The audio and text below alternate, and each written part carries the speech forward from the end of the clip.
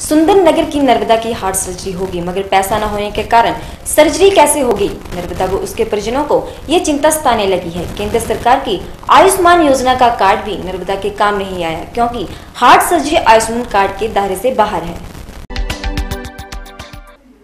सुंदरनगर के नर्मदा की heart surgery होगी, मगर पैसा न होने के कारण सर्जरी कैसे होगी?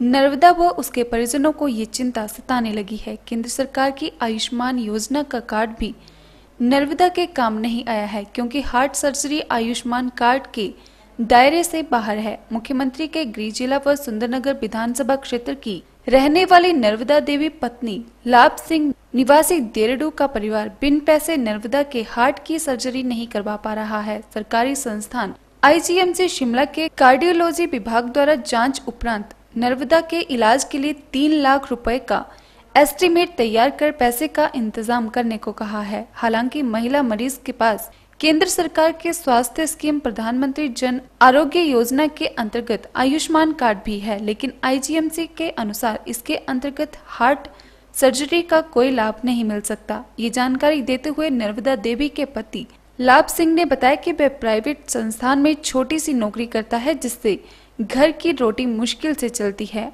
और आयुष्मान कार्ड तो है, लेकिन आईजीएमसी में इससे मुफ़्त इलाज का कोई प्रावधान नहीं है लाभ सिंह का कहना है कि वे स्थानीय विधायक राकेश जम्बाल से भी इस संदर्भ में मिल चुके हैं और मुख्यमंत्री से भी मदद की गुहार लगाई है, लेकिन उनकी पत्नी की तबीयत दिन प्रतिदिन बिगड़ रही है, जिसके चलते वे लोगों से मदद की भीख मांगने को मजबूर हैं। लाभ सिंह ने आमजन व सामाजिक संस्थाओं से अपील की है कि फौरी इलाज के लिए उसकी मदद करें। मेरी पत्नी एक महीने से बीमार है।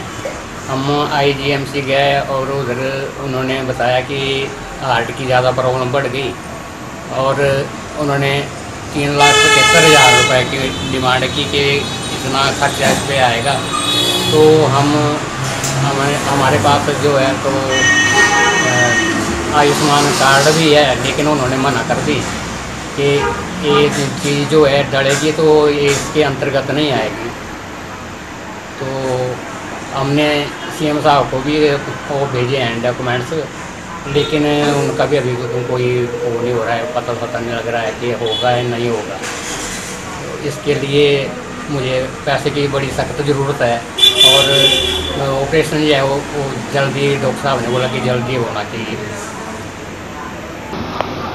आईजीएमसी शिमला के डॉक्टरों ने बताया हुआ है कि तीन लाख पचहत्तर हज़ार रुपए जमा करवाएँ और हमने भी अपने विधायक जी से भी डिमांड की हुई है कि शिमला में ऐसा ऐसा हमारे साथ हुआ है।